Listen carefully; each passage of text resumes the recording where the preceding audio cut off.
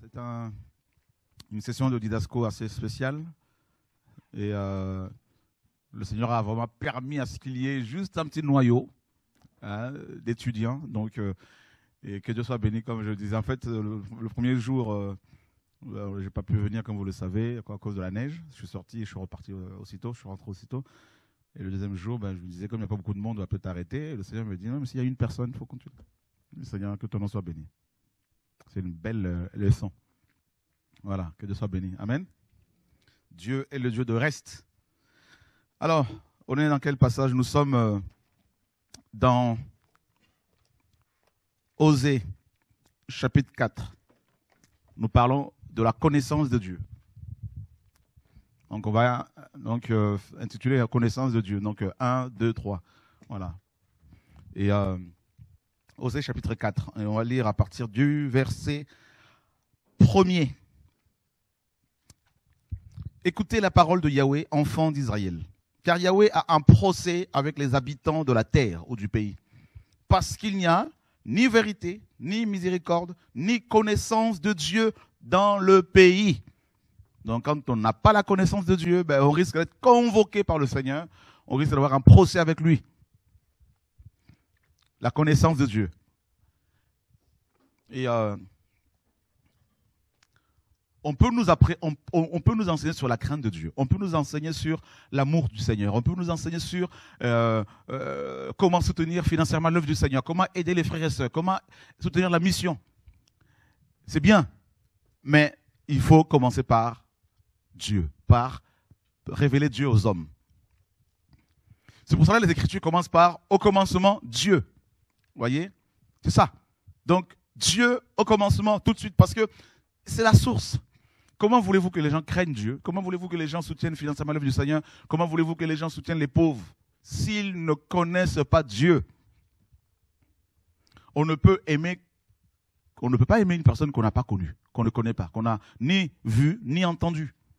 Donc c'est pour cela que la connaissance du Seigneur est primordiale, est capitale, elle est salutaire. Mais quelle- connaissance?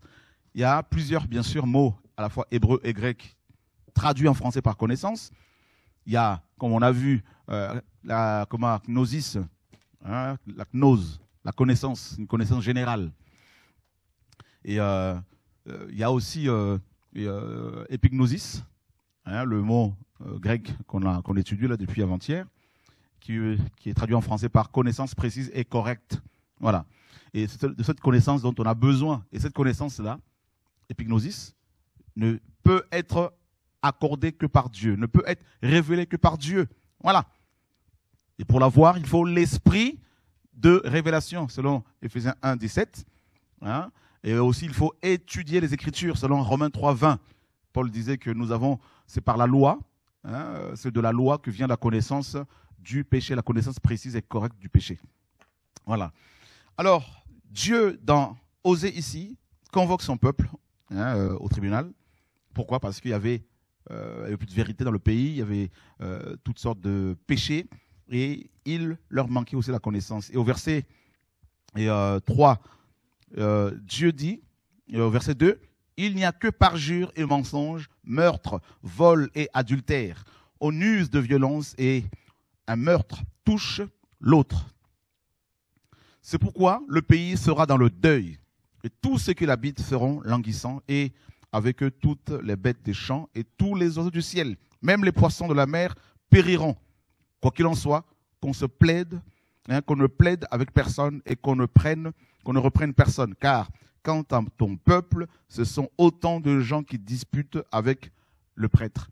Donc il n'y avait tellement pas la connaissance que ben, ces hommes et ces femmes se battaient carrément avec, avec le- des prêtres et euh, se disputaient, se querellaient avec les, prêtres. Et euh, tu tomberas donc en plein jour, et le prophète aussi tombera avec toi de nuit, et j'exterminerai ta mère.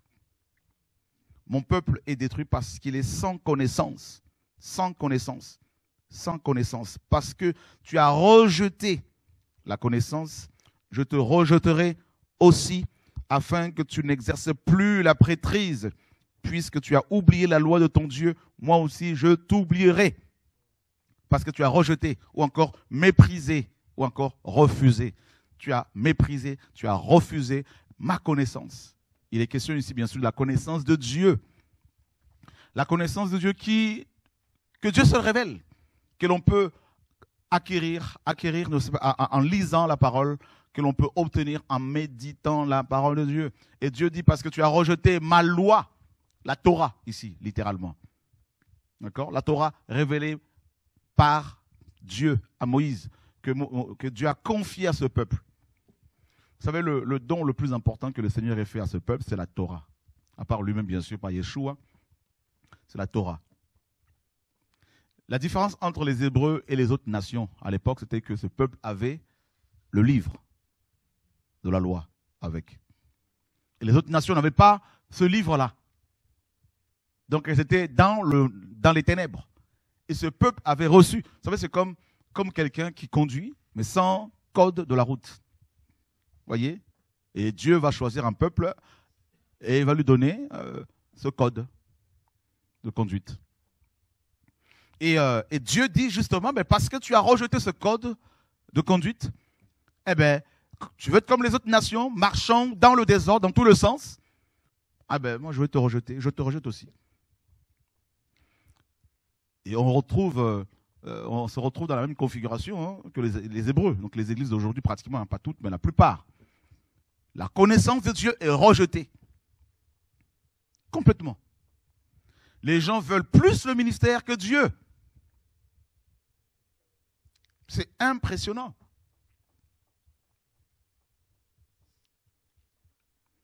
Les gens se battent pour l'onction. Ils se battent pour le ministère. Ils sont pris à toutes sortes de compromissions pour se faire connaître. et Dieu dans tout ça. Et c'est ce que Dieu reproche à son peuple ici.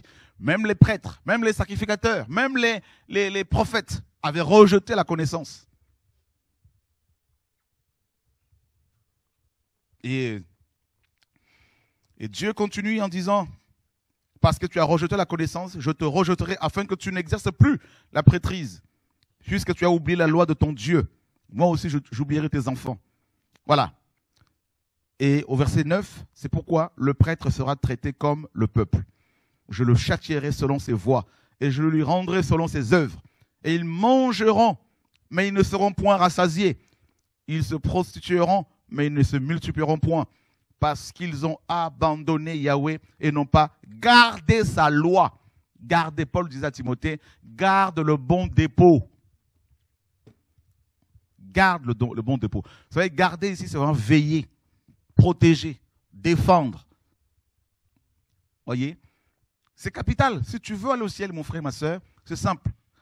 Tu peux ne plus aller dans une assemblée, même ici. Mais il faut que tu gardes avec toi, chez toi, dans ton cœur, la loi de Dieu, la connaissance de Dieu.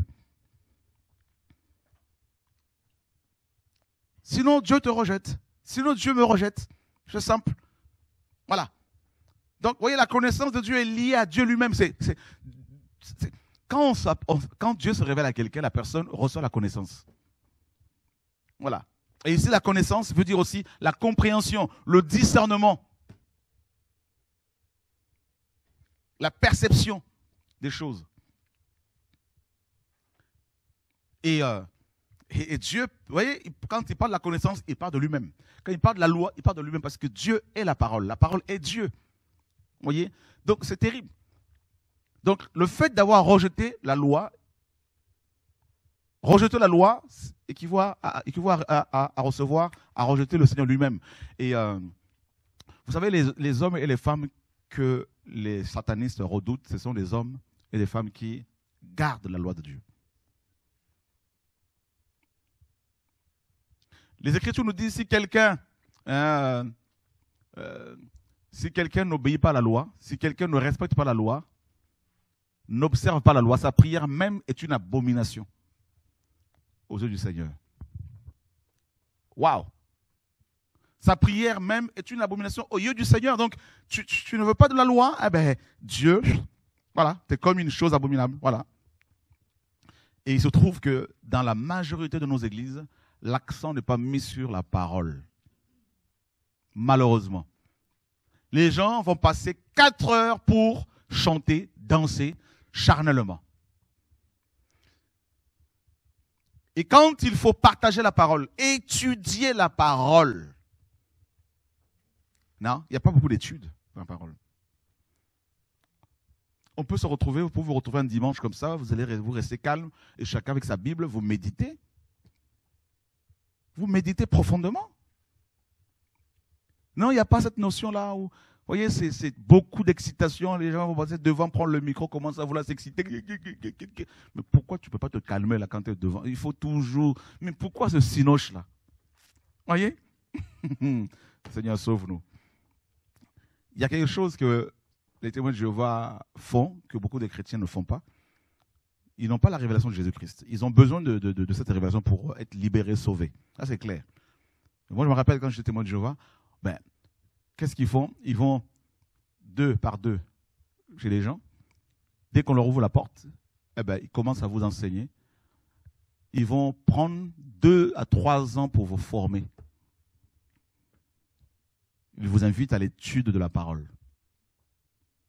Et nous, quand on, a, quand, on s'est converti en 86, on était tout, petit, tout jeune, on, faisait beaucoup d'études de la parole. Et les gens qui ont été formés, que j'ai formés par, la grâce du Seigneur, pareil, je les ai amenés, grâce au Seigneur, à méditer, à travailler la parole.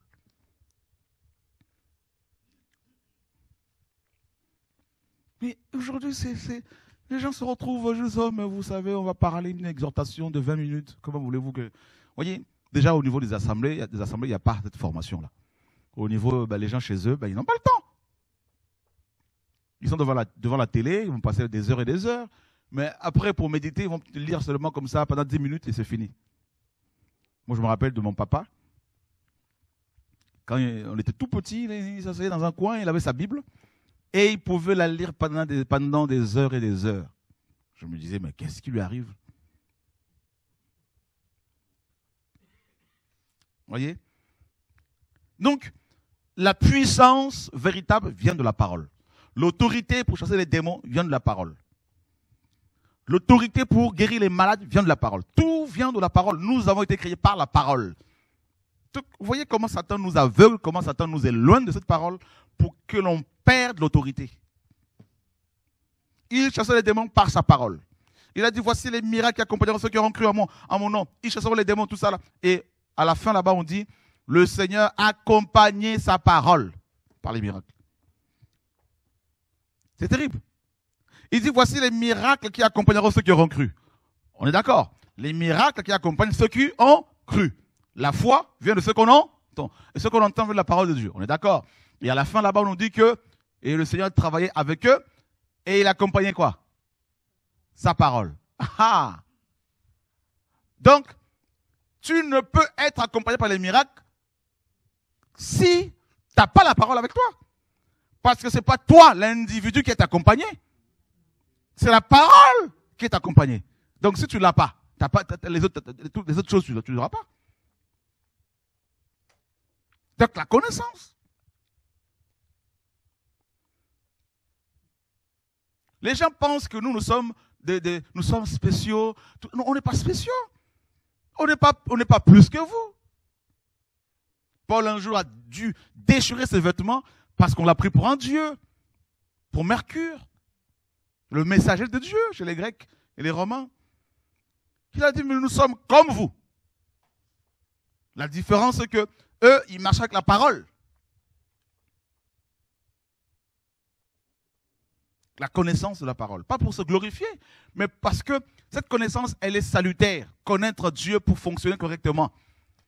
Quand quelqu'un parle, vous pouvez savoir s'il a la connaissance ou pas. Je ne parle pas de la connaissance euh, générale, le fait de connaître des versets, tout ça, 1 Pierre chapitre 2, verset 12. Oui, ta, ta, ta, ta, Ça, c'est. Tout ça, Satan a ça aussi. Satan là. La vraie connaissance, celle qui est précise et correcte, se manifeste par des fruits de l'esprit. On la, on la voit au travers des œuvres, des fruits. Voyez? La connaissance précise et correcte a pour fruit Galates 5, 22. L'amour pour Dieu, l'amour de la vérité, la sainteté, la sanctification, la crainte de Dieu, l'amour, tout ça là. L'humilité.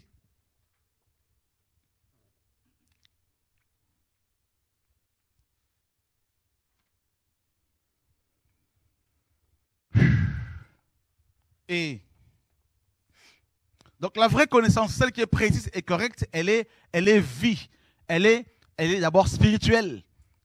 Elle est esprit et vie. C'est, la vie de Dieu en, toi.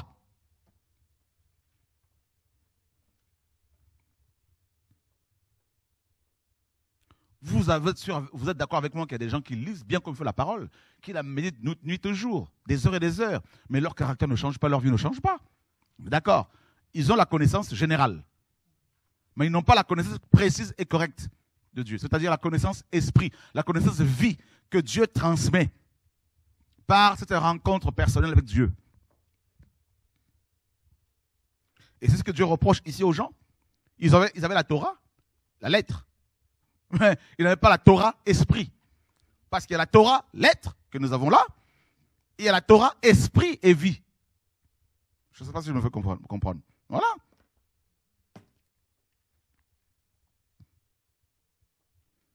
Pour comprendre la lettre, il faut avoir l'esprit d'abord.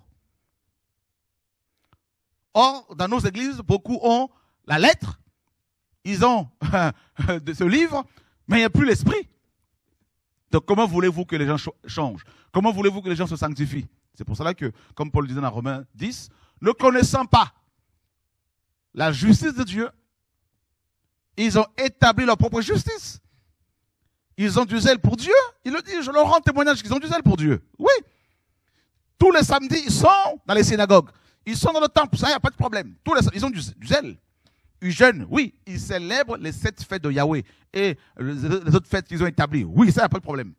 Tout, euh, lors de trois fêtes de pèlerinage, la Pâque, la Pentecôte et euh, la fête de tabernacle, ils sont à Jérusalem pour célébrer, pour le célébrer. Ça, il n'y a pas de problème. Ils sont zélés pour ça. Comme dans nos églises aujourd'hui. Mais, il leur manque la connaissance correcte et précise de Dieu. Donc, ils ont établi leur propre religion, le christianisme, tout ça. Voilà.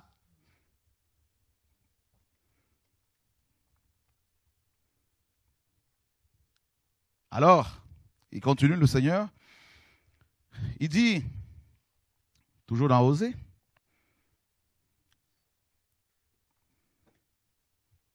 Et ils mangeront, mais ils ne seront pas rassasiés, effectivement, parce qu'ils n'ont pas gardé sa loi. La luxure, ou encore la prostitution, le vin et le vin nouveau, ou le mou, ôtent l'entendement, ou encore prennent possession du cœur. C'est terrible, hein? Prennent possession du cœur ou prennent possession de l'esprit ou de l'être ou de l'homme intérieur. Vous voyez ça veut dire quoi? Ça veut dire que la connaissance spirituelle vise l'être intérieur.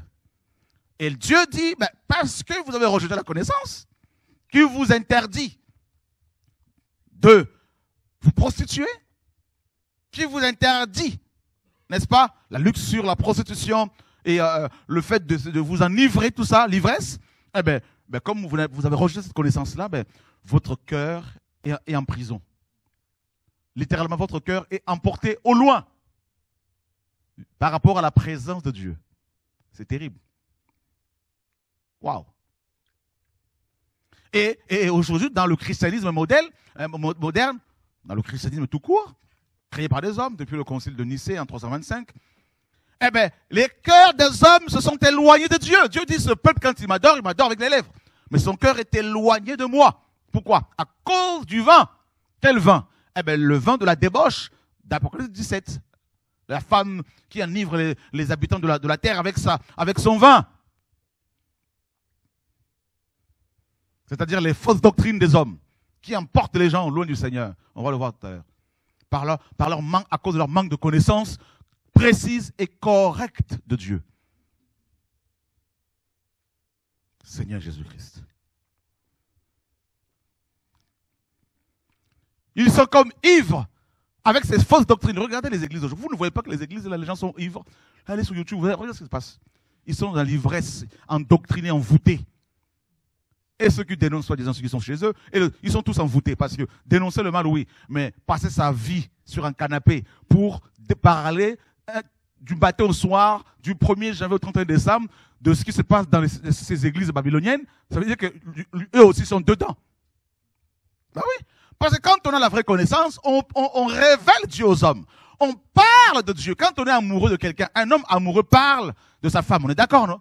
Ben voilà. Donc ceux qui dénoncent soi-disant, qui sont assis sur leur canapé, s'ils ne parlent pas plus de Jésus-Christ que s'ils parlent plus des autres pasteurs, c'est qu'ils sont amoureux de ces pasteurs-là. Ils les envient. Ou ils ont une haine contre eux. Mais il n'y a pas besoin. Il faut quand même que, Dieu nous ouvre les yeux. Vous allez, que Dieu nous délivre. Quelqu'un qui parle plus des hommes que de Jésus-Christ, mais c'est clair. Il vous égare. Parce que la parole nous dit que nous devons avoir le regard fixé sur Jésus-Christ. On est d'accord ou pas? Donc, si vous allez plus sur les sites où on ne fait que parler des hommes, tout ça, regardez ces images, regardez ici. Vous êtes dans voici. Vous êtes dans Gloser, je ne sais pas quoi là, au Closer, là, je sais pas quoi là. La même chose.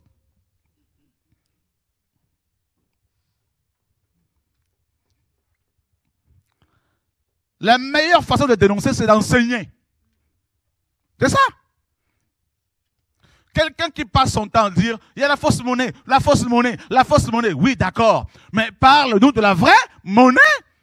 Parce qu'avant que, que la fausse monnaie ne soit là, il y avait la, il y avait la vraie monnaie. Voilà. Parle-nous de l'original.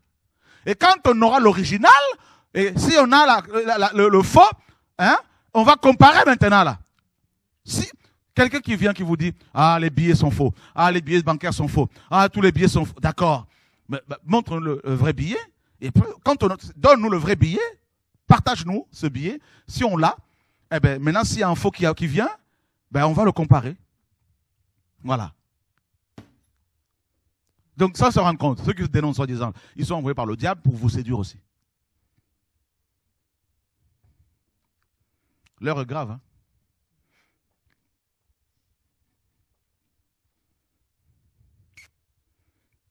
Ça va tout le monde? Mon peuple demande avis à son bois. Tellement qu'ils avaient perdu la, vision du Seigneur. Maintenant, le bois était devenu leur Dieu.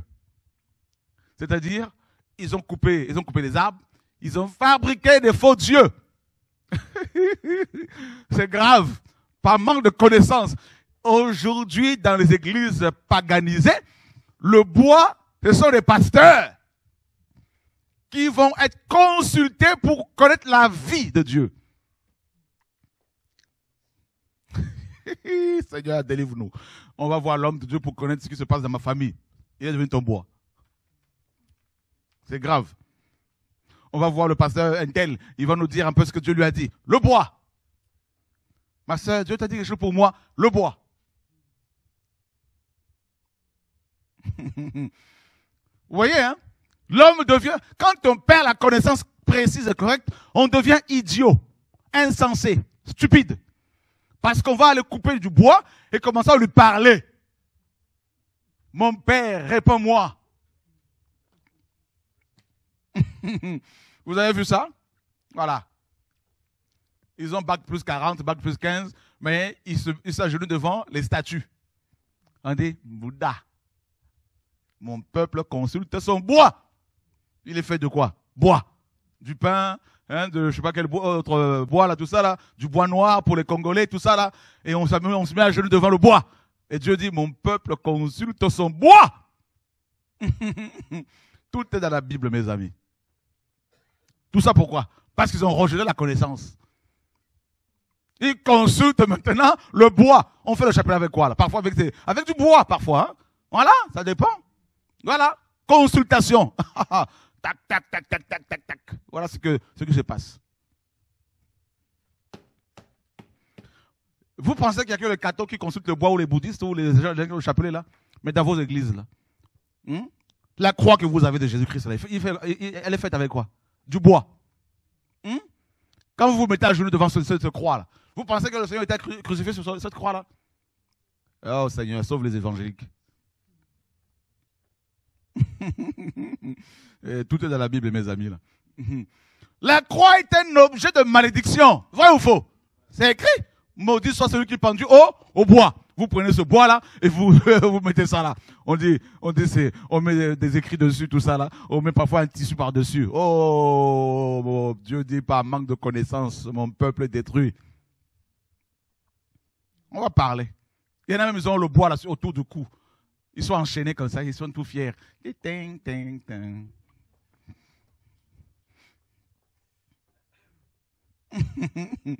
Chrétien jusqu'à la mort.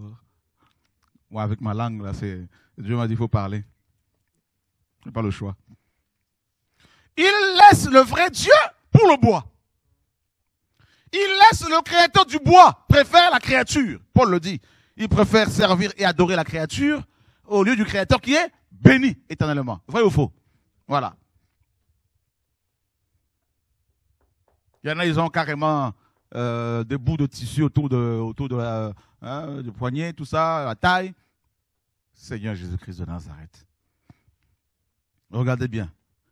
Mon peuple demande avis à son bois. Bois, explique-moi un peu là, s'il te plaît. J'ai des soucis. Est-ce que cette femme est vraiment ma femme ou pas? Qu'est-ce que tu en penses, l'homme de Dieu? Et son bâton lui répond. Son bâton. Comme le bâton de Moïse. Car l'esprit de fornication les a fait errer. Et ils ont commis l'adultère en se détournant de leur Dieu. Ah bah oui. Bah oui. Parce qu'ils ne veulent pas les consulter Dieu, ils veulent les hommes. Quand quelqu'un veut me voir maintenant pour me dire, frère, tu n'as rien dit sur moi, je dis, je ne suis pas ton marabout. Hmm? Il dit, il n'y a pas d'amour, il n'y a pas d'amour. Je veux me sauver, frère. Ce sont les violents qui s'emparent du royaume. Hmm? Ils ont leur cahier de prophétie. Ils notent tout. Ils font la queue. Frère, tu peux prier pour que Dieu te parle un peu ce qu'il attend de moi? Euh, je suis désolé, ma soeur, mon frère. Tout est dans la Bible. Lis ta Bible. Tu connaîtras la volonté du Seigneur pour toi. Tu vois, non Va prier Dieu. Ah oui. Et dans, les églises évangéliques, dans beaucoup d'églises évangéliques ou de réveil, de réveil, les gens, les prophètes jouent à, ce jeu-là aussi. Hein. Ils s'apprêtent à ce jeu. oh, je vois quelque chose. J'entends oh, j'entends Oh, c'est de la médiumnité. De la voyance. Dieu dit, le peuple consulte le bois. Et le bois lui répond. C'est-à-dire, normalement, le bois ne parle pas. Donc, derrière le bois, là, il y a des démons de divination. Donc, les démons de divination ont pris place dans beaucoup d'églises. Ils sacrifient sur le sommet de montagne, ils brûlent de l'encens sur les collines, sous les chênes. Vous voyez les chênes ici, hein? c'est du, du, bois. Hein? Voilà. Sous les peupliers et les termine tout ça là parce que leur ombrage est agréable. C'est pourquoi, donc comme Adam, Adam a transmis cette, euh, vision à sa, postérité, c'est-à-dire le fait de se cacher derrière les arbres. La même chose. Voyez? Et, là, c'est pourquoi vos villes, vos filles se prostituent et vos belles filles euh, euh, euh, commettent l'adultère.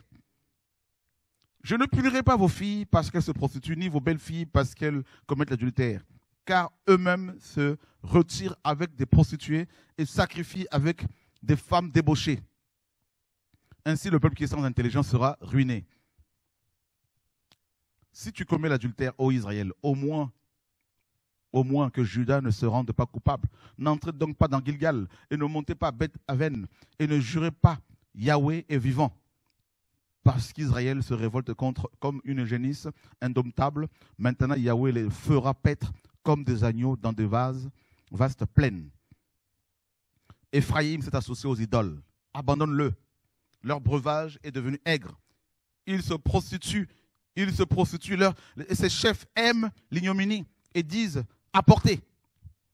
C'est terrible, hein, c'est terrible.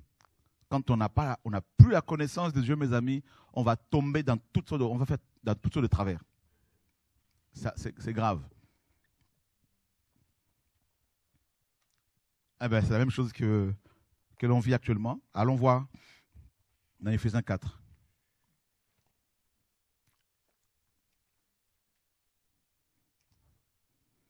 Les gens, ils ont même maintenant leur, leur euh, application avec leur photo, pasteur, application. Hein? Avec photo, pose. Et, et- ça y est, mais on est dans quel monde maintenant là? Mais c'est, impressionnant. hein? C'est grave.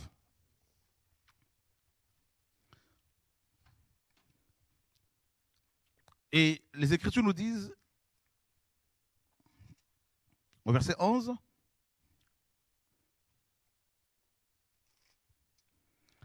Lui-même donc a donné les uns pour être apôtres, les autres pour être prophètes, les autres pour être évangélistes, les autres pour être pasteurs et docteurs. Pourquoi? Pour l'équipement, hein, pour équiper les saints, pour l'œuvre du service, parce que les saints sont appelés à servir le Seigneur, tous les chrétiens. Donc ce ne sont pas seulement les prédicateurs qui sont serviteurs de Dieu. Pour l'édification du corps de Christ, jusqu'à ce que nous soyons tous parvenus à l'unité de la foi et de la connaissance précise et correcte du Fils de Dieu, à l'état d'homme parfait, à la mesure de la parfaite stature de Christ, afin que nous ne soyons plus, que nous ne soyons plus des enfants, comment Flottants par les vagues. Donc ça, c'est euh, dans la nouvelle euh, comment dire, euh, révision, là, euh, la prochaine Bible qui va sortir, la BGC, la prochaine BGC, ben, il y a ça.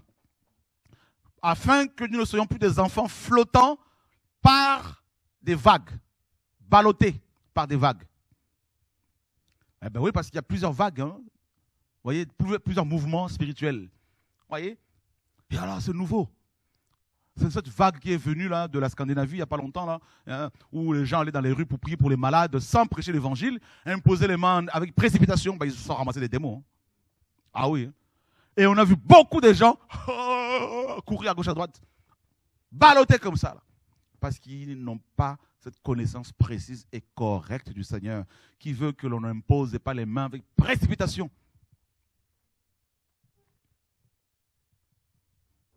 Voilà. Et le problème de beaucoup de chrétiens aujourd'hui, c'est ça, ballotté par les vagues.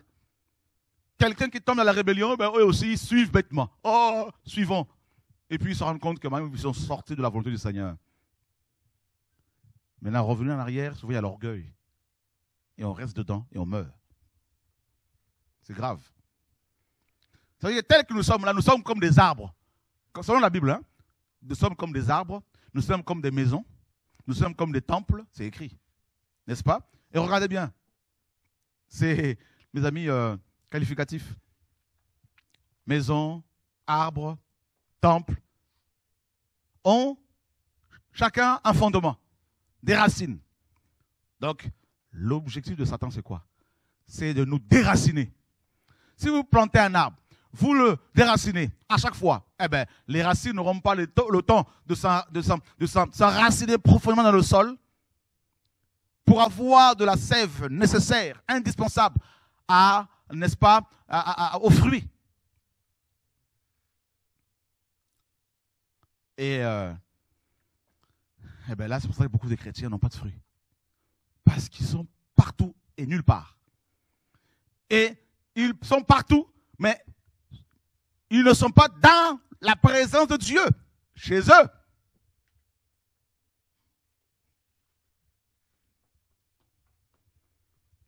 Ils à gauche, à droite, mais ils ne sont pas avec le Seigneur. C'est chaud. C'est-à-dire que ce sont des déracinés. Ils ne se rendent même pas compte qu'ils sont déracinés. Qui n'ont plus la sève, la vie de Dieu.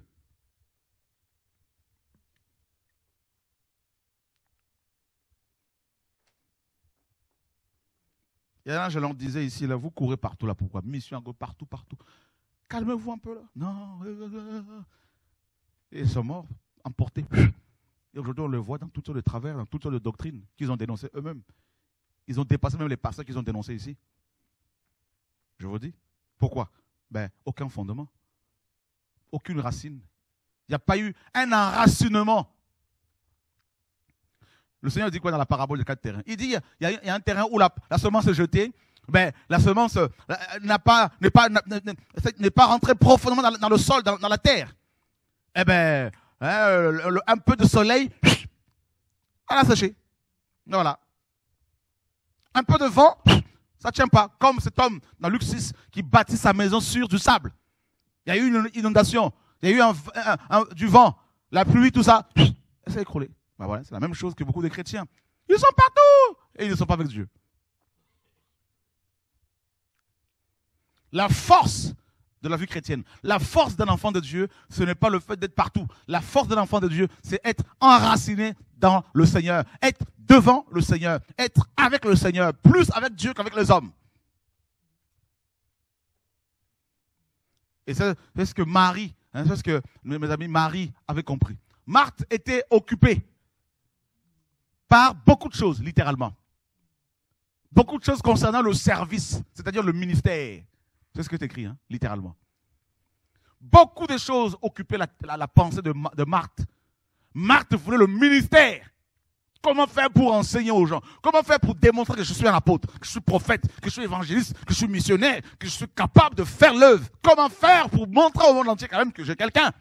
Avec moi que je suis quelqu'un hmm, Mon ami, ils sont morts ici comme ça. Là. Je leur disais, je disais, vous voulez copier sur moi? Vous êtes sortis des assemblées, on vous a plus parlé du ministère que de Dieu du ministère. Car c'est lui qui envoie. C'est lui qui mandate. C'est lui qui établit. Cela ne vient pas de celui qui veut, Romains 9, 16, ni de celui qui court, mais de Dieu.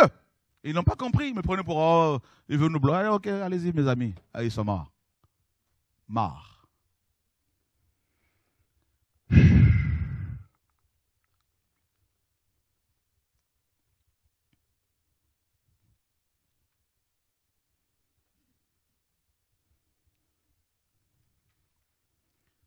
Quand on n'est pas profondément dans le Seigneur, au niveau de l'âme, s'il n'y a pas eu cette guérison, cette délivrance, et qu'on cherche à faire le, ministère, à imposer les mains, à proclamer, à prophétiser, on va tuer. On va s'entretuer, on va égarer les âmes. Et une âme pour le Seigneur coûte cher.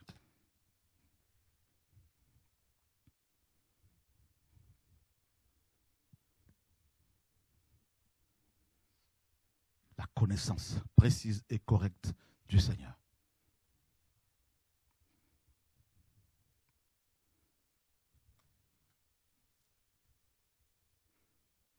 Et euh,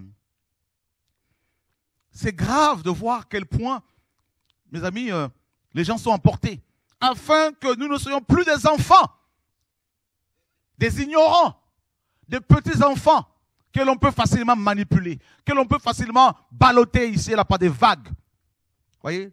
Ah, une nouvelle vague, on court. Une nouvelle vague, on court. Une nouvelle vague, on court. Une nouvelle vague, on court. Mais vous, vous voulez quoi là? Mais qu'est-ce que... Vous, vous voulez quoi? Et ensuite, non seulement qu'ils sont ballottés par des vagues, mais ils sont emportés ça et là. À tout vent. À tout vent de doctrine. Oh, yo, yo. À tout vent de doctrine. Vous voyez? C'est vraiment le vent, le vent. Vous voyez?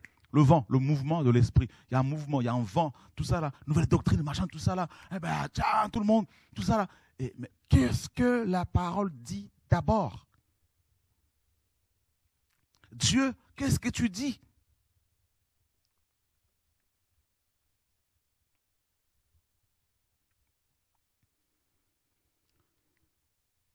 Par la tromperie des hommes ou des humains et par leur ruse à séduire artificieusement, artificieusement,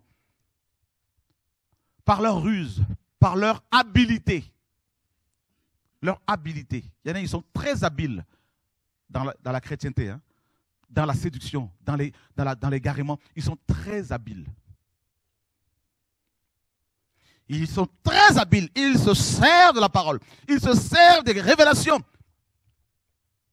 et ils séduisent, ils égarent des âmes.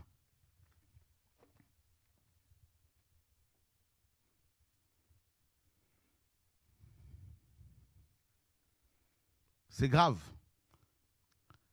Mes amis, pour avoir vécu plusieurs fois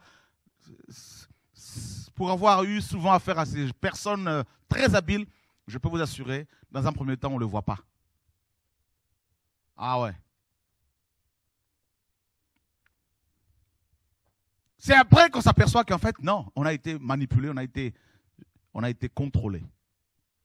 Et on devient amer si on ne fait pas attention. Et on perd beaucoup. Du temps, de l'argent.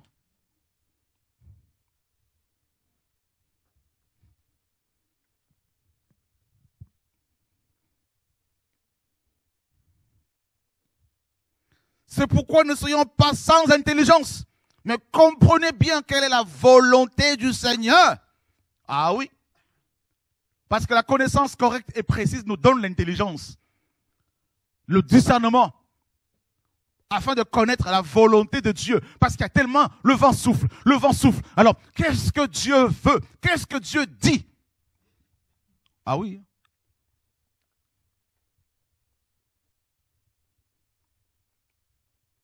C'est terrible. Ça souffle de partout, parfois on, se dit, mais oh là, qui se passe là Il y a trop de choses, il y a trop de scandales, il y a trop d'histoires. Seigneur, qu'est-ce que toi tu dis Qu'est-ce que tu. C'est quoi ta volonté Oh là là, il y a trop de choses dans ma tête, là, il se passe beaucoup de choses. Il y a trop de. Oh, il y a trop de séduction. Il y a trop de femmes qui tournent autour de moi, trop d'hommes. Il y a trop de belles paroles. Seigneur, qu'est-ce que, qu'est-ce que toi tu dis là Oh, au niveau du travail, la pression. Il y a ce vent, il y a tout le temps de vent. Hein. Maintenant, si toi, tu n'es pas fondé, tu vas prendre des raccourcis. Tu vas chercher des solutions qui n'en sont pas. Et, qui, vont t'amener encore plus dans, dans la ruine, dans la confusion, dans la destruction, dans la destruction totale. Chaque enfant de Dieu se retrouve face à des vents divers, tout ça. Paul, Paul, dans Acte 27, il prend ce bateau pour aller à Rome. Vous avez vu? On nous parle d'un vent, Eurachillon, qui a soufflé. Il dit bien que le vent leur était contraire. ah oui. Parce que nous marchons, nous les, chrétiens, les enfants de Dieu, à contre-vent. Et la parole dit, se croyant maîtres de leur destin, ils ont quand même pris la route. Et ce vent a fracassé leur bateau, leur navire. Vous voyez? Le vent.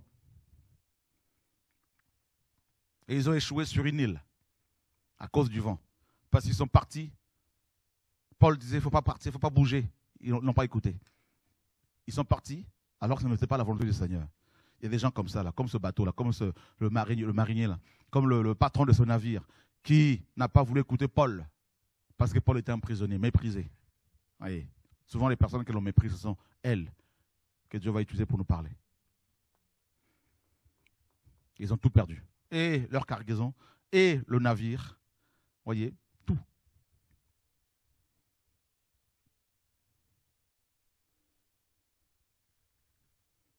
Quand ça souffle, on ne bouge pas. On reste devant le Seigneur. Seigneur, qu'est-ce que toi tu veux? Qu'est-ce que tu me dis? Quand tu sens que du, au niveau du boulot, ça secoue, tout ça, il y a des choses au niveau de la famille, les gens commencent à te critiquer, à parler, à se lever contre toi. Tu sens que autour de toi, les gens se mettent à parler, mais toi, l'âge avance, tu ne te maries toujours pas, que se passe? Regarde ta vie, machin, tout, tout, tout, regarde un tel, un tel, un tel. Tout ce vent-là, dans les assemblées, aussi on peut trouver des gens qui sont très méchants, qui vont nous casser toujours. Ah non, mais tu es marié, mais quand est-ce que tu auras un enfant, tout ça? Mais pourquoi ça vient pas? Mais de quoi, de quoi je me mêle là? Voilà. Comme des petits sorciers. Ah, mais t'as grossi. Il y a plein de paroles comme ça qui peuvent être. Vous voyez, les paroles, la, parole, c'est du vent. Hein. Eh bien, c'est tout ça là. On entend, on entend, ça secoue, ça secoue, ça secoue. Maintenant, toi, comment tu réagis face à toutes ces choses-là? Si tu n'as pas la véritable connaissance, là, tu cèdes. ah oui. Parce que regardez bien, le vent, comme Paul dit, ils sont ballottés ici et là par des vagues et emportés ça et là par, à, tout vent de doctrine. Quand tu prends un ballon, si tu mets de l'air dedans, là, ça fait quoi? Ça monte, ça gonfle. Eh ben, si tu entends des belles paroles, ah, t'es ci, t'es ça, t'es ci, t'es ça, t'es ça, t'es ci, t'es ça, ça te gonfle, ça te gonfle. Si tu fais attention, là, ça te gonfle. Si tu n'es pas profondément ancré dans le sol, là, enfermé, là, si Christ n'est pas véritablement ton fondement, tu prends, de tu prends du volume. Parce que nous sommes comparés dans 1 Corinthiens 5 à de la pâte nous pouvons gonfler facilement, enfler d'orgueil. Et là, tac, tu gonfles et tu t'envoles. Et vous avez beaucoup de gens comme ça. Ce sont des déracinés. Des déracinés en permanence. Ils vont de déracinement en déracinement.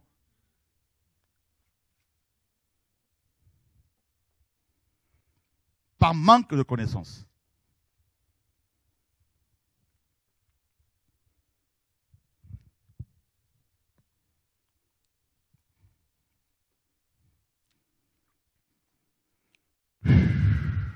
Waouh, Seigneur mon Dieu. Et Pierre dit, plusieurs, plusieurs, pardon, plusieurs, même beaucoup, les suivront dans leur perdition, dans leur destruction. C'est terrible, hein? Beaucoup, parmi, les chrétiens, dans 2 Pierre 2. Il dit, il y aura, il y a eu parmi les juifs, des faux prophètes, il y aura de même parmi vous des faux docteurs, qui introduiront des sectes Voyez? Et ils vont vous séduire. Ils vont être suivis par des millions de gens, par des millions de gens. Et c'est ce qui se passe. Comment quelqu'un qui vient, qui fait des miracles et qui ensuite propose un bracelet aux gens, ils appellent ça hein, euh, the faith bracelet, bracelet de la foi. Et des chrétiens vont là-bas au Nigeria, achètent ce bracelet, commencent à prier avec. Ils viennent et témoignent, ah Dieu nous a exaucés en faisant des prières sur ce bras, avec ce bracelet bracelet. Vous vous rendez compte? Comment est-ce que des chrétiens peuvent accepter la lâcheté de, l'eau?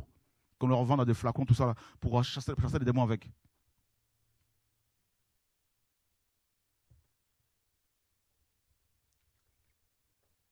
Ils appellent ça, c'est hein, euh, euh, anointing water.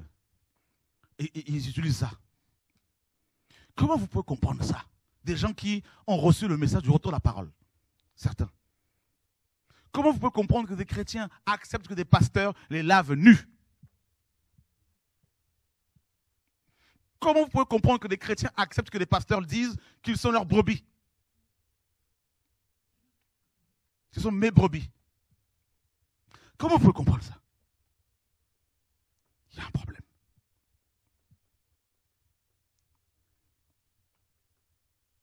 Comment vous pouvez comprendre que des chrétiens acceptent de prier avec des pasteurs qui sont des divorcés étant chrétiens, remariés étant chrétiens?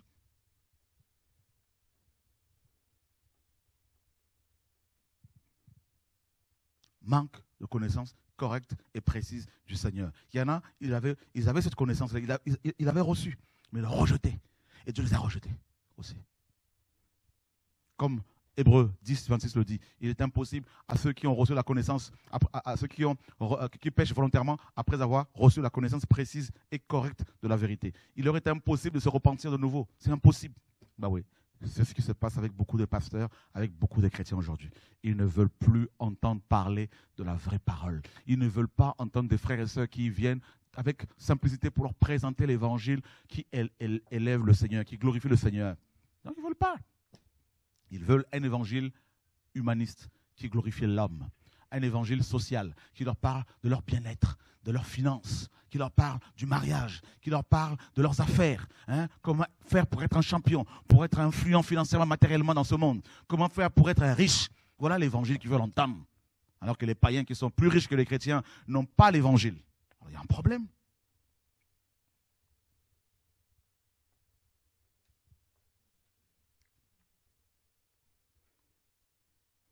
Ils veulent entendre les associations des femmes chrétiennes, des femmes influentes. Ils aiment ça.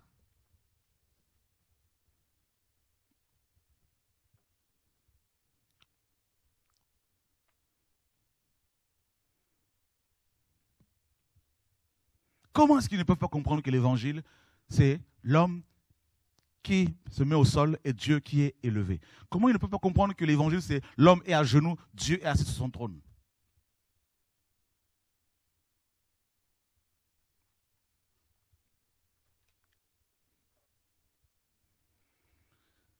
Hébreu 13. La connaissance.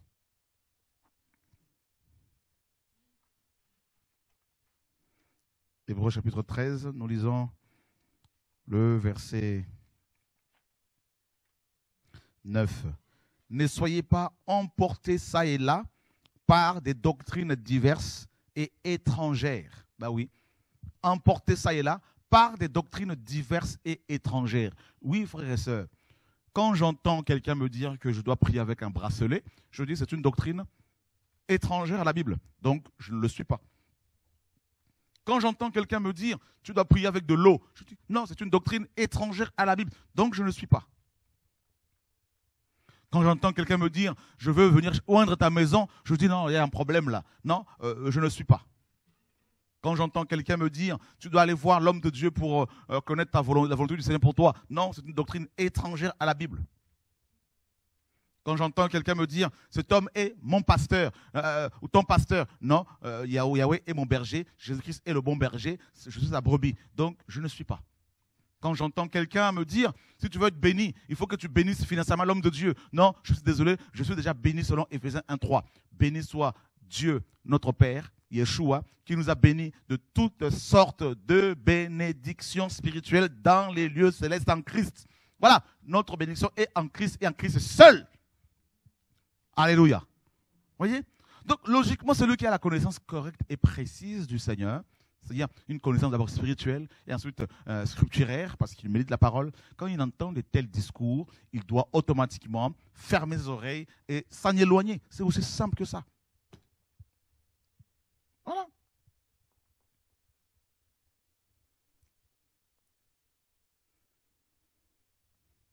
Quelqu'un qui a la connaissance du Seigneur, quand il entend, oh, un tel est notre Père spirituel, non, je suis désolé. Mon Père spirituel, c'est Yeshua. Dieu est esprit et nous sommes des esprits aussi. Donc, en tant qu'esprit, Dieu nous a engendrés. C'est lui qui nous a engendrés. Donc, des pères de la foi, oui, mais des pères de la foi qui ne sont pas là pour nous contrôler. Non.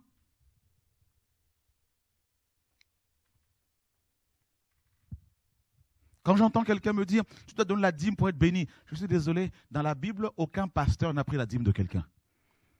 Pasteur, donne-moi un seul verset, pas deux, où c'est écrit qu'un pasteur a pris la dîme de quelqu'un. Si tu me parles de Lévites, eh bien, les Lévites ne sont ni africains, ni français, ni européens, ni américains. C'était les Israélites. Et si tu me parles des prêtres, eh bien, tous les chrétiens sont prêtres aujourd'hui. Tu es prêtre et pasteur, je suis prêtre aussi. Donc maintenant, les prêtres ne donnaient pas la dîme. Aucun prêtre n'a payé la dîme à quelqu'un dans la Bible. Donc pourquoi me demandes-tu à moi qui suis prêtre de donner la dîme? Parce que les prêtres prenaient la dîme. Les lévites payaient la dîme, oui, parce que tous les lévites n'étaient pas des prêtres. Mais tous les prêtres étaient lévites. Parce que les lévites, les prêtres, étaient les descendants d'Aaron. D'accord? Voilà. Donc, ils ne payaient pas la dîme, ils prenaient la dîme du peuple. Donc, nous sommes prêtres tous. Parce que les Écritures nous disent que Yeshua a fait de nous des prêtres. Apocalypse 1, 4, 5, 8 à 10. Nous sommes tous des prêtres. 1, Pierre 2, 9 nous dit que nous sommes hein, des rois et des prêtres.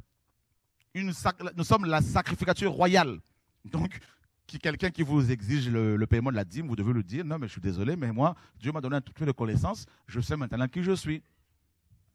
Si l'on vous dit, ah, il faut donner l'offrande d'action de grâce, je dis, mais tu sais, mon frère, l'offrande d'action de grâce, en fait, c'est l'offrande de paix. Je l'aime en hébreu, je l'aime. Qui donne de la racine et shalom, la paix.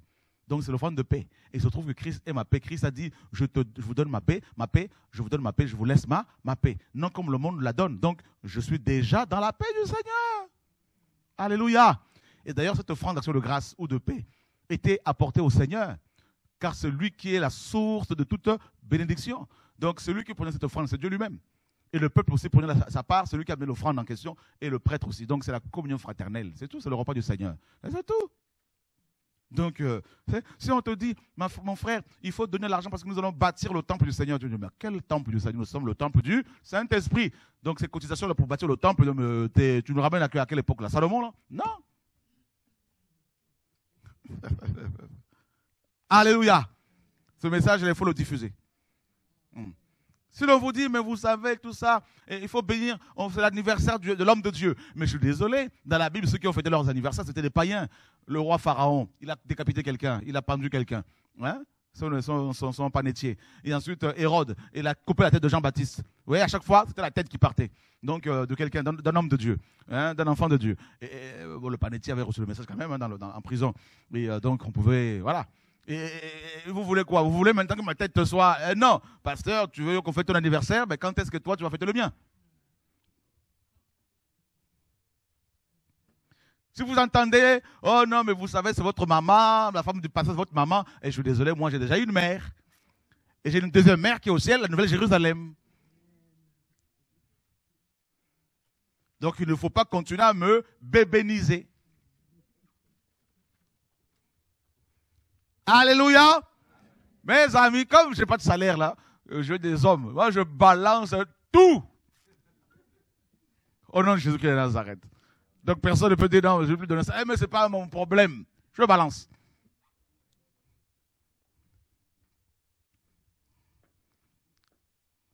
Alléluia. Si le, un dimanche, tu ne vas pas à l'assemblée et qu'un frère t'appelle, mais tu étais où ce dimanche? Il faut lui dire, frère, mon frère, avec tout le respect que je te dois, je t'aime dans le Seigneur et euh, tout ça, mais j'aurais aimé que tu me dises au moins, ça va, tout va bien, sois encouragé, plutôt que de me poser la question où j'étais. Parce que je suis libre, je fais ce que Dieu me demande de faire, hein, je n'ai de compte à rendre à personne. Si euh, tu dis à ton entour d'assemblée, même dans les assemblées qu'on a implantées, Dieu te met à cœur de faire une œuvre et que les gens te disent, il ne faut pas que tu bouges. Dis non, ça devient contrôle au quoi? Vous, commencez à contrôler au quoi là? Nous sommes libres. Même si vous estimez que ce n'est pas leur appel, mais laissez les gens quand même se débrouiller. S'ils font des erreurs, ils vont revenir s'ils le veulent. Sinon, ben, avec le. Voyez, c'est tout ça là qu'il faut comprendre. Oh Seigneur, sauve-nous. C'est chaud. Oh, c'est chaud.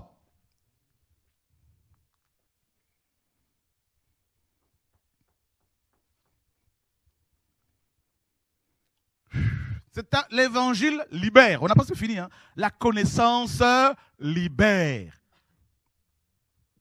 il y a beaucoup de pasteurs qui m'ont dit ces choses-là, on le sait, mais il ne faut pas, trop les partager parce que nous, on va, comment on va faire? Je leur ai dit, vous avez, un problème. Dieu m'a dit, il faut que je dise tout. C'est pour ça que, les gens que je formais à l'époque euh, autour de moi m'ont quitté. Ils dit, non, non celui-là, c'est chaud, il casse nos affaires. Non, on construit, il, renverse tout. Il y a des hommes qui disent, il ne faut pas regarder TV de vie, hein, faut pas, vous êtes toujours branché TV de vie, il faut arrêter. Parce que quand ils présentent leurs assemblées, mais chez nous, et les frères et sœurs disaient, on a suivi TV ce c'est pas comme ça. Hein. Hein? On nous a montré des versets bibliques et là, ici, là, tu nous dis, tu te demandes de faire autre chose. Donc, du coup, c'est l'alignement. Il n'y a pas le choix. Il n'y a pas le choix. Il ne faut pas dire aux gens de ne pas avoir Internet chez eux. Hmm? Même dans les toilettes, ils ont portable. Portable, tout ça, tablette. ils, vont, ils vont chercher. Même, je vous dis, c'est fini la vérité ne peut plus, ne peut pas être étouffée. Voilà, la vérité. C'est ça le message. voilà. Oh Seigneur Jésus-Christ. En gros, c'est ça, la vérité, la connaissance. Je vous assure, plus Dieu se révèle à moi au niveau de la parole, plus je suis libre. Cette liberté ne me pousse pas à manquer du respect aux frères et sœurs, loin de là. Bien sûr, le fait de prier en, tant qu'assemblée locale est biblique. Mais on ne doit pas imposer aux gens, hein, n'est-ce pas, euh, être présent tout le temps, tout le temps, tout le temps. Et euh, oui, c'est biblique. Oui, on doit se, retrouver pour s'encourager. Mais parfois, les gens, les frères, ils ont besoin de vivre autre chose. Ils sont libres. Parfois, ils ont leurs occupations. Il y en a qui peuvent être malades. Il y en a qui peuvent s'occuper de leur famille, leurs parents, leurs enfants. Il faut comprendre que les gens sont libres. L'évangile nous rend libres. Bien sûr, nous, sommes, nous avons des responsabilités des, uns vis-à-vis des autres, mais il y a la liberté. Il n'y a pas le désordre, bien sûr, il y a la liberté. Voilà. Comment on peut comprendre des frères qui viennent d'un pays étranger ou d'ailleurs et qui, qui, sont obligés de ne pas dire à, d'autres là où ils vont? Parce que sinon, on va, on va les accuser, on va leur poser beaucoup de questions. Mais, mais où est la liberté dans tout ça C'est comme s'il y a des contrôleurs partout là. Waouh, Seigneur mon Dieu. Hmm? Il contrôle tout. Des vrais mystiques, des vrais pharisiens. Moi, je sais qu'ils sont là, mais il y en a qui sont chez eux, là, ils sont en train de contrôler. Ah, vous savez, le machin là à côté, il faut faire attention parce que c'est la franc-maçonnerie. Ah, le dessin, la maison, arrêtez un peu là. Ah, arrêtez de. C'est la confusion. Hein. Tout le monde dénonce tout le monde. Tout est dénonçable maintenant. C'est impressionnant. Impressionnant. ça devient de la folie. Voilà. Sachez qu'on aura tous un compte à rendre au Seigneur. Vous qui voulez vous précipiter pour aller enseigner partout, préparez-vous au jugement. Parce que je sais qu'il y en a, Dieu ne les a pas forcément appelés à faire cela. Mais comment voulez-vous? Si on leur dit, faites pas, ils vont dire, on nous contrôle. Parce eux, ils sont, ils dessus. Ok, mais à la fin, on verra. Parce que quand vous allez enseigner des niaiseries, des mensonges, des inepties, des, cacahuètes, des faussetés, ah ben, ça tue, ça détruit. Et notre jugement sera terrible. Donc n'oubliez pas, la connaissance du Seigneur est salutaire. Cherchez à le connaître lui et non les hommes. Au nom de Yeshua. Plus vous connaissez le Seigneur, plus il va vous révéler l'état des gens. C'est comme ça que ça se passe. Plus vous avez la connaissance, plus vous, aurez le, plus vous aurez le discernement sur les uns, les autres, sur les gens qui vous entourent. Donc, que Dieu nous garde, que Dieu nous continue à nous utiliser pour sa gloire, pour sa grâce, par sa grâce. Au nom de Yeshua, notre Maître. Amen.